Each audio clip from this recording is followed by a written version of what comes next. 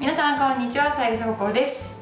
今日はリンゴルフオープン第一次締め切りが終了いたしましたのでその報告の動画を上げさせていただきます。たくさんのご応募本当にありがとうございました。なんとですね関東2会場ですね。御殿場とイーストウッドは応募総数が上限に達しましたので今から抽選し当選の方連絡します。他の4会場ですね。白川白川まあ福島ですね。白川関西 ABC ですね。で東海東名古屋。で九州ザ・クラシックですね。確定となりました。はい。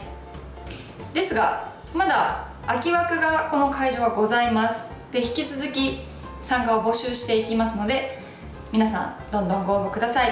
でこの会場はですね今言った4会場ですね。第1次締め切りが終わったので第2募集からは先着順でもう確定とさせていただきます。先着でもうどんどん確定とさせていただきますのでもう人数が達し次第終了募集終了ということになります。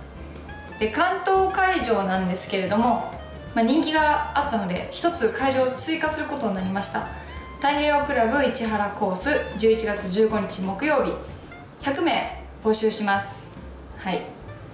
でリンゴルフオープンやりますよって言った時に結構多かった意見としてスコアに自信がないとか結構スコアがあの最近悪いからうんなまったね今。悪いから 出れないとか自信がないとかまだ始めたばっかなんですっていう方も多かったので、まあ、そういう方たちもぜひねあの参加してもらえたらなと思ってます。ここの会場はですね100ぐらいの人スコアが100ぐらいの人をバッと固めてそこでみんなでラウンドしてもらうとかそういう風な風にしていきたいなと思います。で募集要項に最近のスコア100切りについて考えることを記入してこの会場はご応募してください。でもちろんあの80代の方70代の方もぜひご応募ください。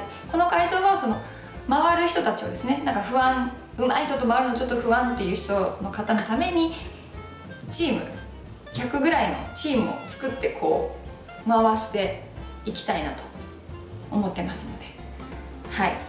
その辺の不安がちょっとでも解消されればなと思ってます。で普段エンジョイゴルフでゴルフしている皆様にこの日だけはちょっぴり真剣にゴルフをやってみるそんな場所としてリンゴルフオープンの競技を楽しんでもらえたらなと思ってます。私もねまだまだゴルフいろいろ迷ったりしてますがリンゴルフオープンは思いっきり楽しみたいなと思ってます。はい。で引き続きご応募の方お待ちしてますので皆さんぜひ応募よろしくお願いします。YouTube のチャンネル登録と高評価もよろしくお願いします。次回の動画を楽しみにしててください。バイバーイ。YouTube のこれ小さ